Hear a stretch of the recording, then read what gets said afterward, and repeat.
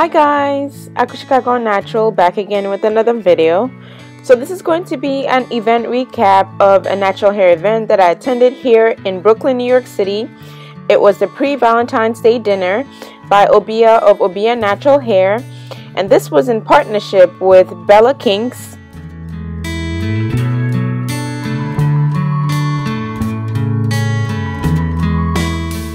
We had loads and loads of fun. We had dinner, we had drinks, mimosas, sangrias, margaritas, and it was at this awesome Brooklyn restaurant called Piquant.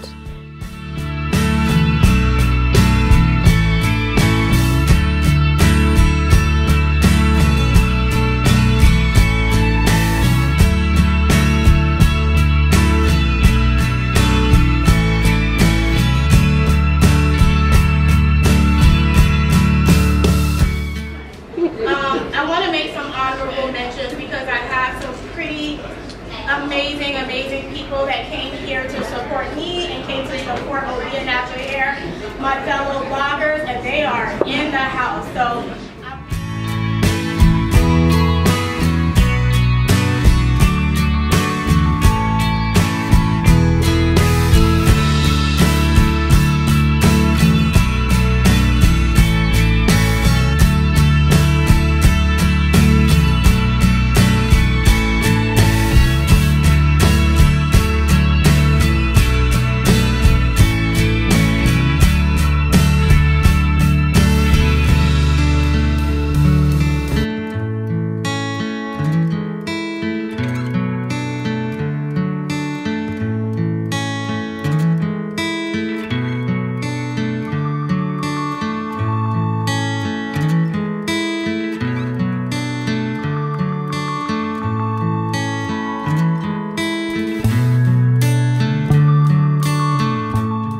was my first time meeting Obia in person and I had a blast getting to know her. She's so down to earth, very, very pleasant lady and she has a wealth of knowledge. So we had a very, very knowledgeable event as well. It was not all about drinks and food and natural hair products, but it was more also about understanding the pH balance of natural hair and also the pH balance of natural hair products. So a lot of knowledge was actually shared during this event. So yeah, we had loads of fun and I just wanted to share with you some of the clips as well as some of the pictures that I took at the event and I hope you enjoy this video. And as always, thank you so much for watching. I'll speak to you in my next one. Bye guys.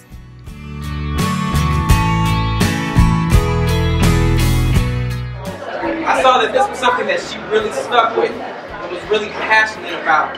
You know, it's just, it's God, you know, how things moved around in both of our lives to allow me to just drop everything and to be able to jump on board with her. And the things that have happened from that day until now, it's, it's only divine intervention. So I just want to let you guys know that, you know, I'm excited for everybody. And I really want to thank you guys for coming out and giving us a chance. And this is an opportunity for you guys to learn something. Please ask questions. Obia is really passionate about it. This is what she does.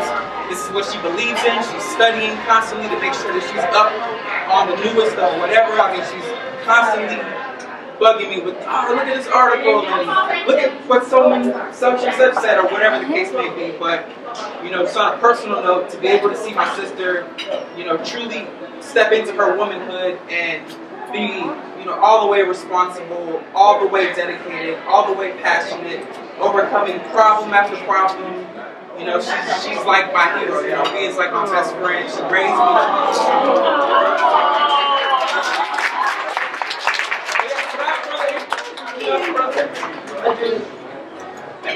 My sister, Obia.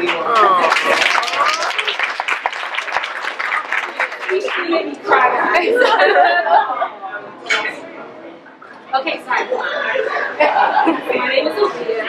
Um, to give you guys more information, like they said, so in 2009 I decided to go natural. That when I transitioned, I was still a medical student with her, and then when I went natural, my hair was like a hot mess, like a bird's nest. And I'm, I don't want to walk around looking crazy. And it seemed as though at the time, a lot of the products out there were for people that had a silkier or like a looser Yeah. hair texture, and not for like the bushy, like you know, Nigerian hair, tough, you know, like my hair texture. So some of the products were not, not all the products were terrible, but the products that were okay had like bad ingredients. And because of like health issues, I was like, okay, I don't want to use anything with honey or beeswax because I have skin allergies. And of people don't realize that if you have allergies, it can cause you itch and have all these issues. So I had all these criteria of things that I wanted and I didn't want, but nothing out there seemed to fit that model. So I started to make things for myself. So I actually did biology and chemistry as my first degree, but for no other reason than to have a higher I hated science, and so I actually did the opposite of what I love. I had to challenge myself to be a better doctor. So it's funny that when I went natural, you know, I had the science knowledge to create things for myself. I didn't think that would work for me, work for other people, and that's how all this started. And it really wasn't until I got a little bit just let go and gave us a chance that just things would work. So the hardest decision was actually pausing medical school to pursue this. Wow. And since I literally let go, my God, all this has happened. And even though we've been in business for like two and a half years, I can't even like we're in like 43 stores. And it's so Wow. grateful.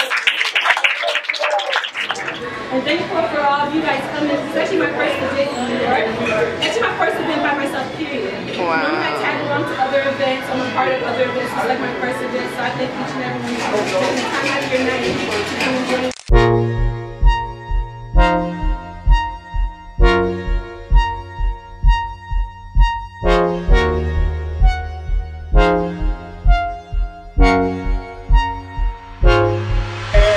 I sit here waiting for you, darling, until after two. You told me you'd be right here, baby.